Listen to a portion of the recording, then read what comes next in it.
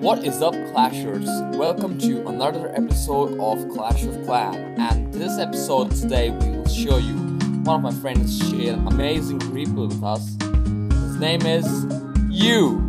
Yeah, that's right. You got that right. His name is You, and he just shared this amazing loot replay with us.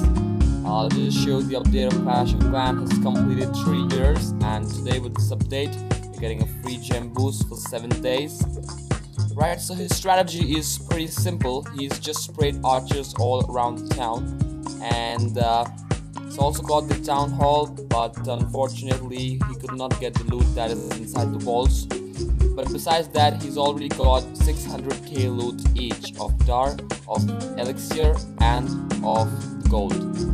Just watch this raid, sit back, and relax, and let me know in the comments what next you want. Subscribe, like, and thank you for watching.